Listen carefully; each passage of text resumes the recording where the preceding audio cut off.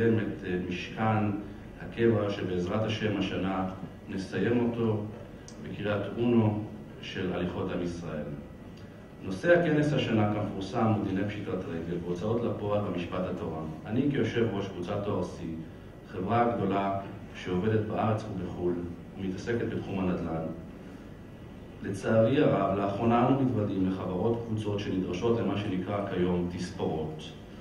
על כן, מצא כבוד הרב הרוסי לנכון לדאוג, על פי משפט התורה, במושב זה ירצו כבוד הרבנים הבאים, והנני מקדם בברכה את הרב אריאל בראלי, רב ישיבת ההסדר שדרות, וחבר בית הדין לממונות במועצה הדתית שדרות, ידון בנושא תשלום חוב לרם במחיר סגירת ישיבה.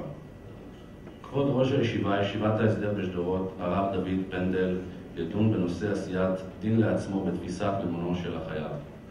הרב עורך דין יוסף שרעבי, המשמש כדיין בבית הדין לממונות וקדומים לדון בנושא זכות קיזוז קיימת וזכות קיזוז ניתנת, ויחתום את המושב כבוד הרב אברהם חיים שרמן, חבר בית הדין הרבני הגדול לשעבר, שידון בפסקי דין, בתי דין של רבנים על הוצאה לפועל. לתשומת לבכם, המושב, כמו גם שאר המושבים, משודר בשידור ישיר באתר האינטרנט, באתרי האינטרנט השונים. כבוד הרב בראלי לפתוח את המושב.